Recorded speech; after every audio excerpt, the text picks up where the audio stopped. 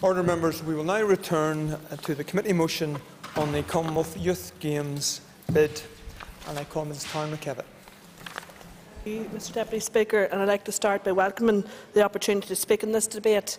And I'm sure it is a topic that will see overwhelming support within this chamber.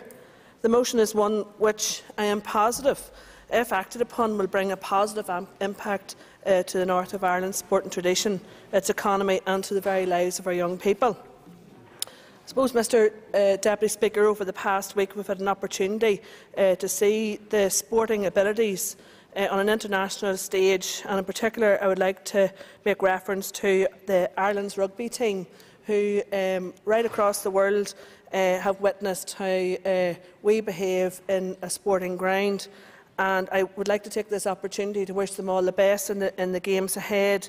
And uh, seeing the crowds and the supporters uh, right across, standing shoulder to shoulder with the team, is a fine example to all. So I'd like to make reference to them. And I suppose without uh, diluting anything, I would also like to uh, make reference, and particularly with an international stage, uh, to our boxers. Um, I'm sure Mr Deputy Speaker, you would agree that our boxing uh, continues to be one of the greatest sporting traditions um, and of successes as such uh, as these that will ensure that the tradition will continue for some time to come. Last year, uh, I stood in this very chamber to extend my warm, sincere congratulations to the Northern Ireland Commonwealth team and their successes in Glasgow, while at the same time calling for the Assembly to fully support the efforts to replicate this success in the future. The estimated £3.75 million cost to host the Games may be daunting, but with proper planning and a positive joint approach to development, I believe this represents an investment worth making. It is essential that the North has the facilities and infrastructure in place, not only for the Commonwealth uh, Youth Games, but to ensure that we can avail of other sporting events in the future and to ensure our natural talents are nurtured is, suitable, uh, is nurtured in a suitable environment. All our sports need to be funded adequately and enjoy full support from the Department and the whole Assembly if we are to see um, any success in the future. I do support Northern Ireland's young and excellent athletes. Mr uh, Deputy Speaker, regardless of the politics of the Commonwealth, the Commonwealth Youth Games are a prestigious and international event and one which allows Northern Ireland's athletes to shine. Our athletes and competitors should be given every opportunity to compete in international sporting events and they should also be given the opportunity to participate in these world-recognised games at home. It is the unifying power of sport that will allow all traditions and communities to come together to cheer and celebrate our athletes, as we have done in the past. It is difficult to overstate the sheer success this region has in hosting the events in the past couple of years. In the face of continued political instability and strife, Northern Ireland's ability to present its world-class hospitality has preserved. Events such as the World Police and Fire Games, the Giro d'Italia, the recent Irish Open in Royal County Down prove that Northern Ireland has the will and the want to host international sporting events. As I have often said to colleagues and constituents, the economic benefits of sport tourism do not end with each event. Tourists return to visit again, and the reputation of the North will be enhanced by each event. Sports tourism remains a booming industry, and this region will continue to benefit greatly from the economic and social benefits that events such as the Commonwealth Games would bring. Mr Deputy Speaker, in the spirit of this unifying power I spoke of, I ask that this Assembly joins together once again to voice its support for the Northern Ireland's bid for the Commonwealth Youth Games in 2021. I believe that, regardless of our current dire politi political uh, circumstances, sport remains a positive force for Northern Ireland and reflect Northern Ireland at its best. And I hope that 2021 in this chamber we will be welcome even greater successes for our young athletes. Thank you. I call Leslie Cree. Thank you very much, Mr Deputy Speaker. Uh, I'm pleased to stand here before the House as a committee member and spokesman on behalf of the Ulster Unionist Party to discuss this important issue today. It is with great annoyance that we have to, to bring this debate to the Assembly under such negative circumstances, considering that only nine months ago Northern Ireland's potential involvement in hosting the 2021 Commonwealth Youth Games was being hailed as one of the good news stories for sport in November 2014. My, my, what a difference several months can make. And guess what the problem is yet again? The dysfunctional Stormont executive and the trailing indecision of the DUP and Sinn Féin to agree a budget has meant that the, in principle, Stormont backing indicated to the Northern Ireland Games Council last year is becoming less certain. Hosting the Games, as other speakers have said, would cost around 3.75 million. I notice it's 3.861 million in the Minister's letter uh, of last week. As recently as August this year, the Executive had not met to discuss the event, even though the DCAL and Deputy Ministers had met with Northern Ireland Games Council officials. I can quote the Department of Culture, Arts and Leisure Minister as stating last year, and I quote, her department through Sports Northern Ireland will continue to develop facilities subject to the availability of budgets. Mr Deputy Speaker, I do hope this still remains to be the case and the Minister will find funding for this. To date, the Executive has not called a meeting to discuss the issue, which is required to free up funding to enable the planning of the event to move forward. Last year at the Commonwealth Games in Glasgow, Northern Ireland athletes proved their competitiveness and medal success in bringing home some 12 medals, again mentioned by others, ranking Northern Ireland 15 out of the 71 on the medals table. In the light of Northern Ireland's recent successes in attracting major sporting events to Northern Ireland, such as the World Police and Fire Games, the Giro d'Italia and the Carl Frampton Boxing Tournament, it would be a great shame if the Executive cannot muster this 3.861 uh, million to fund the Commonwealth Games in 2021, given that the potential return in investment it would produce for Northern Ireland economy and right across the financial spectrum. Locally, the Youth Games attract around 1,000 of our young athletes whose ages range between 14 and 18 and they compete against their 70 other nations. In terms of the potential footfall in the bigger scheme of things, the 3.8 uh, million seems a very small price to pay over a five-year spending plan. Mr Deputy Speaker, I would urge all members to think outside the box in this particular case. Sport is a global language which embraces all socio-economic backgrounds, ages, gender, colour and creed. Hosting the event in 2021 would certainly put Northern Ireland on the world map. In this time of unease and uncertainty, it would bring back some faith in this place if the Youth Games organisers were given positive funding news from Stormont to proceed with their plans. With only one of the bidders, Botswana, remaining, the Executive need to urgently prioritise their decision to enable Northern Ireland to be in with a fair chance of winning the bid to host these games in 2021. And just finally, uh, Mr Deputy Speaker, uh, I would refer again to the Minister's letter to the Acting First Minister and Minister of Finance and Personnel, dated the 25th of September, just last week. The Commonwealth Games Federation has agreed to extend the closure date for bid submissions until the 30th of September 2015. So it's only two days, Mr Deputy Speaker, not a lot of time, and we do need something to happen with the Executive to get this matter moving. I support the motion. Thank you. I call Rosie McCorley. Um, agus here in le takeú a hórtan run seánniu. Um, I rise to support this motion today. Um, Alaskan Corlia, several uh, weeks ago, young athletes from the north of Ireland gave an outstanding account of themselves when they went to Samoa to take part in the Commonwealth Youth Games. Agus fiaru na glecky, vi storwai bona kela aku in a and by the end of the Games they had notched up an extreme exemplary array of medals in their sports agus mar aihantas ar seo thug an Irish Sports Carl Killing Chakrak Jazz Dói de Chogarja Stoiv. In recognition of this, Sports Minister Carál Ní Chuilín sent them a very warm welcome uh, message of congratulations. 16 local athletes from the north competed in the games and events including boxing, swimming, athletics, squash and lawn bowls and an amazing 12 medals have been brought home for various sports. Once again, Irish boxers showed they can punch above their weight, with James McGivern, Stephen McCann and Aidan Walsh all winning gold in their events. Tiernan Bradley and Brett McGinty took silver medals. In the swimming events, Conor Ferguson achieved a massive feat when he won four medals in the 200 metres, 100 metres and 50 metre backstroke, as well as the relay. James Brown, Danielle Hill and Emma Reid were the other, other winners in the relay team. And competing in track events, Ben Fisher took bronze in both the 110 metres hurdles and the long jump. Completing the medals, Stephen Kirkwood won bronze in long bowls.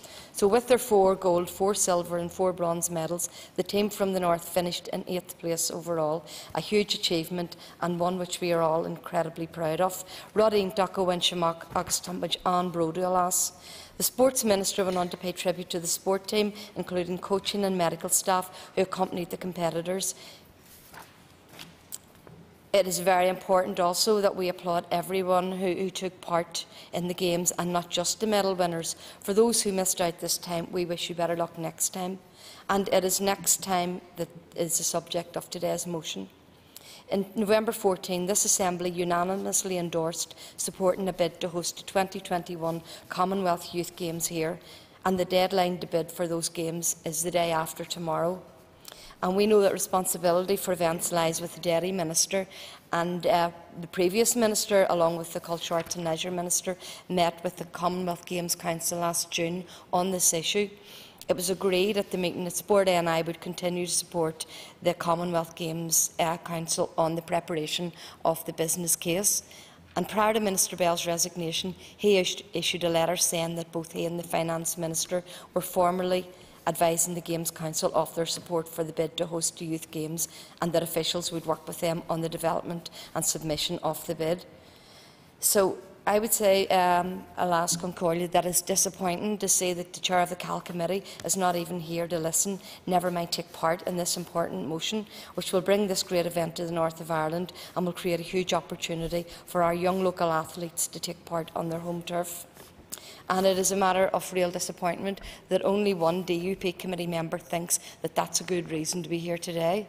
Um, but I would say that it is good news to learn that uh, steps have been taken by the, the, the uh, DETI and the Finance Ministers to ensure that the bid will proceed. So um, it, it's good that there's some common sense has prevailed at the last minute. So I welcome that move.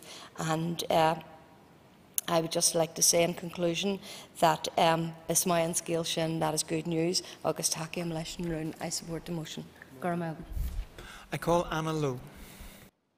Mr Deputy Speaker, uh, in November 2014 I spoke on behalf of the Alliance Party in support of a bid for Northern Ireland to host the 2021 Commonwealth Youth Games. Our position remains unchanged. However, At the last debate, it was mentioned that conversations had already started and that discussions were underway between the Northern Ireland Commonwealth Games Council, Sport NI and officials in DCAL. We called on the executive to develop a bid, the deadline for which is the end of September 2015. Today is the 28th of September. Given the Assembly's unanimous support last year I am hugely disappointed. No bid has been made so far. I'm not on the uh, Culture, Arts and Leisure Committee, so I am unaware how much work has actually been put into this bid, but surely it is far too late now to attempt to submit any bid. This is perhaps another indication of the lack of joined-up workings of departments and the lack of delivery in the Assembly. Mr Deputy Speaker, we celebrated the success of our athletes who competed in the Commonwealth Games in Glasgow last summer. We were proud of how well we handled the first stage of the Giro d'Italia. We saw how positive the World Fire and Police Games were. After each one of these events, we stood here and said how important it is for us to build on these successes. I agree that hosting the Commonwealth Youth Games would be an appropriate step to encourage more international events to be held in Northern Ireland. but action speaks louder than words. What action has been taken in the last year to facilitate this? And hearing from other speakers, it would seem like there are a lot of issues with the executive, with budget, with DETI, and we just don't seem to be able to agree on anything. Mr Deputy Speaker, with the huge successes of Giro, D'Italia, the World Fire and Police Games, the MTV Music Awards and the Irish Open, we know we are more than capable of hosting world-class international events. We have so much to offer, and it is important to take every opportunity to show the world the positive Northern Ireland that all too often gets overshadowed by our negative politics. This is clearly another missed opportunity. Thank you. I call Cathal Ó hOisín to conclude and wind up the debate on the motion. Uh, Gurma agat alas cean choirle agus uh, bé bras as a bheith glóirt ar an áir an seo aniu. Ní cinnte go more mar an rágam, but uh, right. Um, but uh, I'm very pleased, uh, Mr. Uh, Deputy Speaker, to uh, uh, wind on this as a member of the Cal Committee and also as our party's Culture, Arts and Leisure spokesperson. When I first seen the motion, I was a bit perplexed about it because we had discussed a very, very similar motion, of course, back in November last year, and there was a degree of unanimity around that subject. And I was not convinced that perhaps it wasn't Mr McCrea's attempt to get a 10-minute slot on Stormont today, but uh, I'm very happy to, to, to, discuss this here today. Um, I think it is timely that it has come forward, and I think that uh, the developments that we've heard in the last 24 hours have to be very, very welcomed uh, in that uh, at least a, a, letter of comfort is there in place in regards of the bid. And I would be hopeful that, given the fact that the uh, only other sort of uh, um, serious bid is from Botswana. I'd be very hopeful that the North here can possibly secure that. Um, I'd like to thank all the others who have contributed to this debate today, and it's, a, it's a, an issue on which the committee has been united, and I know my colleague Rosie McCarthy has just touched on the disappointment that the chair and other members uh, have not turned up, but there has been a fair degree uh, of unanimity on this. Uh, the games, like all sports, of course, have uh, a lot of positives for them and not least the participation of women uh, and the inspiration that it gives to many of the younger athletes, athletes as well as raising the profiles of sport and encouraging general participation in sport uh, and subsequently, of course, uh, health and well-being. Um, it also shows that there is a capacity here uh, to hold major sporting events and certainly those of us who are looking forward to some of those events coming up, like the likes of the Open in 2019 or indeed the Rugby World Cup in uh, 2023, which we would all look very much forward uh, to. Um, Mr McCrea uh, did highlight the uh, cross-community aspect of, of this, and uh, he had, did commend the Minister's positive response uh, to question the Minister for DCAL's positive response to the Convention on the Youth Commonwealth Games. He also mentioned the support from Minister Arlene Foster for that and the opportunity, this gives us the opportunity to put the members' support uh, uh, on record for the bid. Uh, Karen McKevitt's welcomed the debate and uh, outlined the positive benefits of it. Uh, it gives an international stage uh, for this part of Ireland. She also wished the Ireland rugby team well, and I think we all celebrated yesterday. I came back from the Ulster uh, hurling final to watch, sit down and watch the rugby, and it was absolutely brilliant to see them in a great performance against Romania, as it was indeed against Canada previously. And I would hope that they'll go very far this time round. Um, these games would seek to replicate the success of the Glasgow Games, uh, which were a great success indeed in, in, terms, of, in terms of medals.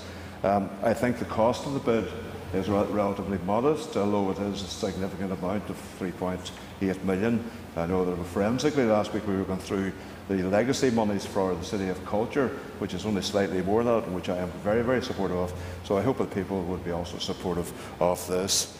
Um, the bid success uh, will, of course, as say, allow us to bid for further uh, support for uh, other events in the future.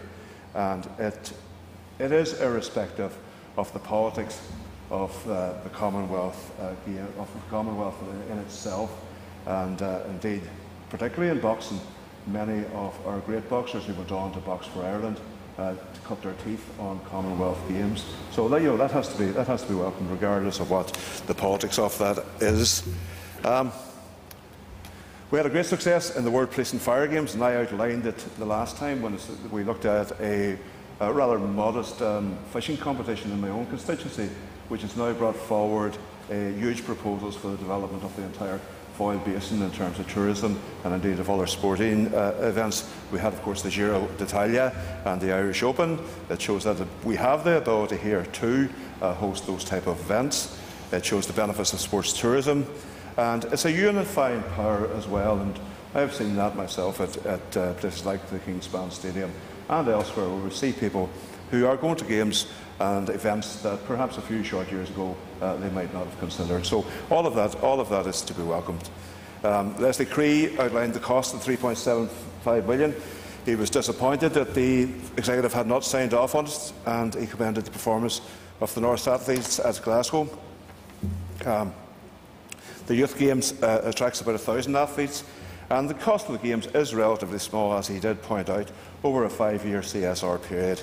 Uh, there is positive diversity in the Games in terms of race and religion and nationality and all the rest of it. And he asked the executive to, to, respond uh, positively. Um, I have to say I am pleased that we are uh, joined in the public gallery today by Conal Heatley, who is the NI uh, Commonwealth Games Council Executive Officer, he's just come in the door there, so that's all. And uh, I went on, Rosie McCarty then reflected on the successes of the North athletes in the Youth Games in Samoa, and indeed the Minister's support. And can I just maybe pass on of the four gold medals, uh, the four silver medals and the four bronze medals, one of the golds was to James McGivern, who is a cousin of Rosie's partner, so congratulations particularly to him and to, to, to, to Rosie and her family. Uh, she highlighted the closeness of the deadline for the bid. Uh, she referenced the, the DFP and Deputy Minister's letter of support, and this is positive. And she referenced the Chair's absence again, and I've, I've already uh, touched on that earlier. Uh, Anna Lowe reflected on last year's debate on the bid and that everything seemed to be on track, but she did express and recorded her disappointment. They were so close to the deadline uh, for a bid. She also highlighted our sporting successes in the World Police and Fire Games and the Giro d'Italia. So all in all, I think this is a, a motion uh, and a cause that has united.